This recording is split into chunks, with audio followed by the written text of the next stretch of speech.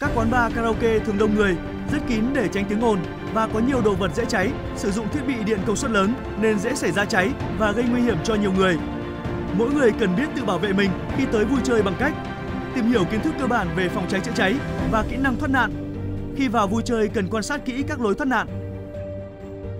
Khi có cháy cần bình tĩnh, hô hoán báo động cho mọi người ra cửa chính. Nếu cửa chính bị lửa khói, hãy tìm lối thoát khác. Ban công, cửa sổ, sân thượng sang nhà bên hoặc xuống đất bằng thang. Tuyệt đối không núp trong phòng, nhà vệ sinh. Nếu phải băng qua lửa, hãy dùng chăn ướt cuốn chặt vào người và thoát ra nhanh nhất có thể. Nếu có khói, hãy dùng khăn ướt che kín mũi, miệng và cúi thật thấp, men theo tường để ra lối thoát nạn. Có kiến thức để tự cứu chính mình và mọi người